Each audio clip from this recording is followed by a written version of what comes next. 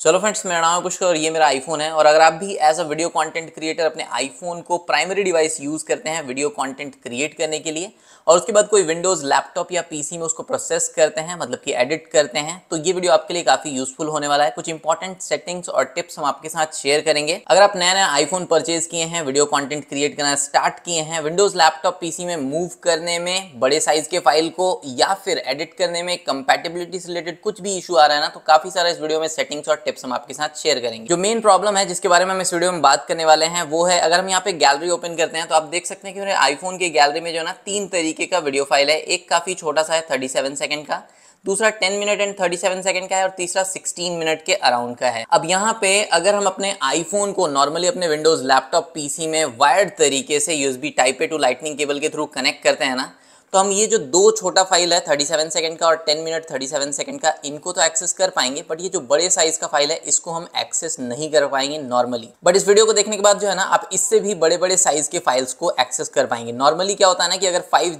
के अराउंड का कोई भी फ़ाइल साइज़ हो जाता है ना तो उसको आप नॉर्मली एक्सेस नहीं कर सकते. अब जैसे आप देख सकते हैं कि ये जो वीडियो है, ये अराउंड 5.45 जीबी का हो गया है. बाकी ये वाला जो वीडियो है ना, ये कम साइज़ का है, ये 3.6 पॉइंट का है तो हम इसको एक्सेस कर पाएँगे। तो जो फाइव जीबी के अराउंड का फ़ाइल साइज़ हो जाता है, जिस भी वीडियो का, उसको आप normally USB type A to lightning cable के थ्रू कनेक्ट करके एक्सेस नहीं कर पाएँगे। और किस तरीके से आप बड़े साइज़ के फ़ाइल को अपने लैपटॉप या पीसी में ट्रांसफ़र कर सकते हैं कॉपी पेस्ट कर सकते हैं, वो हम आपको इस वीडियो में दिखाएँगे। बट उससे पहले, अगर आप अपने आईफोन को as a video content creator video content create करने के लिए यूज़ करते हैं तो दो इंपॉर्टेंट सेटिंग है जो हम आपके साथ शेयर करना चाहेंगे। सबसे पहले तो आपको सेटिंग में आना है, उसके बाद यहाँ पे आपको फ़ोटोज़ के सेटिंग पे जाना है। फ़ोटोज़ के सेटिंग में अगर आप सबसे नीचे जाते हैं ना तो यहाँ पे आपको एक ऑप्शन मिलता है ट्रांसफ़र टू मैक और पीसी और इसमें ऑटोमेटिक और कीप ओरिजिनल दो सेटिंग दिया गया है। अगर आप ऑटोमेटिक सेलेक्ट करके रखते हैं तो ऑटोमेटिकली जिस भी डिवाइस में, चाहे मैक में या पीसी में, आप फ़ाइल ट्रांसफ़र करते हैं फ़ोटो या वीडियो तो कंपेटेबल फॉर्मेट में वो ट्रांसफ़र हो जाएगा। जो भी डिवाइस में आप ट्रांसफ़र कर रहे हैं मैक में या पीसी में तो उसके कंपेटेबल फॉर्मेट में वो ट्रांसफ़र हो जाएगा। अगर आप यहाँ पे कीप ओरिजिनल सेलेक्ट करते हैं तो जिस फॉर्मेट में आपके आईफोन में वो फ़ाइल रिकॉर्ड हुआ है, उसी फॉर्मेट में आपके मैक या पीसी में ट्रांसफ़र हो जाएगा। तो हम यहाँ पे ऑटोमेटिक जो है वो यूज़ करते हैं। आप चाहें तो कीप ओरिजिनल भी यूज़ कर सकते हैं। इसके अलावा जो दूसरा इंपॉर्टेंट सेटिंग है उसके लिए आपको अपने आईफोन के सेटिंग में आना है कैमरा ऐप के सेटिंग में जाना है एंड यहाँ पे आपको ऊपर में फॉर्मेट का ऑप्शन मिलता है, इसके ऊपर आप टैप करेंगे एंड यहाँ पे आपको दो ऑप्शन मिलता है high efficiency and most compatible का। तो अगर आप अपने आईफोन से वीडियो रिकॉर्ड करते हैं और उसको विंडोज़ लैपटॉप या पीसी में प्रोसेस करते हैं एडिट करते हैं तो यहाँ पे आपको मोस्ट कंपेटेबल जो है वो सेलेक्ट करना चाहिए।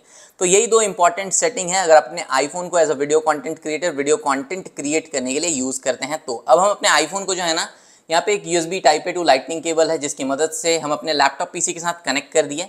कनेक्ट करते ही यहाँ पे हमको अलाउ का एक पॉपअप देखने के लिए मिलेगा। इस अलाउ वाले पॉपअप को अगर आप अलाउ करते हैं तभी जो है ना, आप अपने आईफोन के मीडिया को मतलब कि फाइल्स को फ़ोटो वीडियो को अपने लैपटॉप पीसी पे एक्सेस कर पाएँगे, जो कि विंडोज़ पे चल रहा है। अब यहाँ पे अगर हम दिस पीसी को ओपन करते हैं, फिर यहाँ पे एप्पल आईफोन पे जाते हैं, फिर इंटरनल स्टोरेज में जाते हैं डीसीआईएम फ़ाइल पे जाते हैं एंड यहाँ पे जो रिसेंट मंथ का फोल्डर बना हुआ है, इसके ऊपर अगर हम टैप करते हैं तो यहाँ पे आप देखेंगे कि सिर्फ़ दो वीडियो फाइल्स ही शो कर रहा है। एक जो है वो वन एटी का है, और दूसरा जो है वो थ्री पॉइंट का है। बट जो तीसरा फ़ाइल था, जिसका फ़ाइल साइज़ पाँच से ज़्यादा का था, वो यहाँ पे शो नहीं कर रहा है तो अगर आपको बड़े साइज़ के फ़ाइल को अपने विंडोज़ लैपटॉप पीसी में इस तरीके से वायर्ड तरीके से नॉर्मली ट्रांसफ़र करना है तो आपको जो है ना माइक्रोसॉफ्ट स्टोर ओपन कर लेना है। अब यहाँ पे माइक्रोसॉफ्ट स्टोर ओपन किए हैं और फ़िलहाल हम अपने आईफोन को जो है ना इस केबल से डिस्कनेक्ट कर दिए हैं। अब यहाँ पे माइक्रोसॉफ्ट स्टोर में आई सर्च करेंगे एंड यहाँ पे आई एप्लीकेशन आपको माइक्रोसॉफ्ट स्टोर से जो है ना इंस्टॉल कर लेना है। एंड यहाँ पे आप देख सकते हैं कि आई एप्लीकेशन जो है वो इंस्टॉल हो गया अब इसको हम ओपन कर लेते हैं। ओपन करने के बाद यहाँ पे आपको जो है ना टर्म्स एंड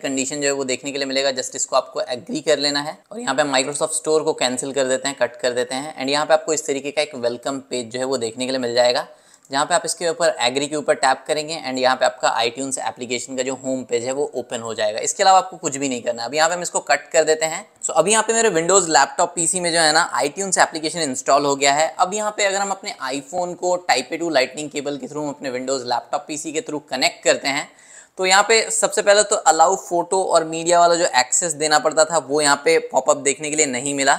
एंड यहाँ पे आप देख सकते हैं कि ऑटो प्ले में आईफोन जो है, वो यहाँ पे कनेक्टेड शो कर रहा है। अब अगर हम यहाँ पे अपने माई कंप्यूटर या दिस पीसी में जाते हैं एंड यहाँ पे अगर हम एप्पल आईफोन के ऊपर क्लिक करते हैं इंटरनल स्टोरेज के ऊपर क्लिक करते हैं, फिर यहाँ पे हम अगर फोल्डर में जाते हैं एंड लेटेस्ट फोल्डर में जाते हैं तो यहाँ पे आप देख सकते हैं कि तीन फाइल्स शो कर रहा है।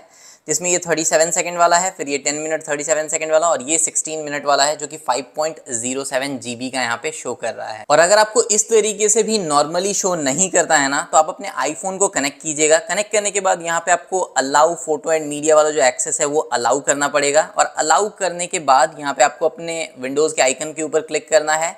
एंड यहाँ से आपको जो है ना आई को सर्च कर लेना है और आई को ओपन कर लेना है। और जब आप आई एप्लीकेशन को ओपन करेंगे, उस समय आपका आईफोन जो है वो लाइटनिंग टू टाइप पे केबल के साथ आपके विंडोज़ लैपटॉप या पीसी के साथ कनेक्टेड रहना चाहिए। और अगर ऐसा रहता है तो यहाँ पे जो है ना, आपको एक और पॉपअप देखने के लिए मिलेगा ट्रस्ट का, और उसमें आपको ट्रस्ट के ऊपर टैप करना है, आपके आईफोन का पासकोड आपको एंटर करना है एंड देन फिर जितना भी बड़े साइज़ का फ़ाइल हो, वो आप अपने लैपटॉप पीसी में जस्ट दिस पीसी के ऊपर टैप कीजिएगा आईफोन के ऊपर टैप कीजिएगा इंटरनल स्टोरेज में जाइएगा, और यहाँ पे आप जो भी लेटेस्ट फोल्डर होगा, उसमें जो भी बड़े से बड़े साइज़ का फ़ाइल होगा वीडियो होगा, वो यहाँ पे आपको दिख जाएगा। इनिशियल डेज़ में जब हम भी अपने आईफोन से वीडियो रिकॉर्ड करते थे, और बहुत बड़े साइज़ का फ़ाइल होता था मतलब कि ट्वेंटी मिनट्स या ट्वेंटी 25 मिनट का हम वीडियो रिकॉर्ड करते थे और उसके बाद जब हम उसको फाइंड करने का कोशिश करते थे अपने विंडोज़ लैपटॉप किसी में तो वो शो नहीं करता था।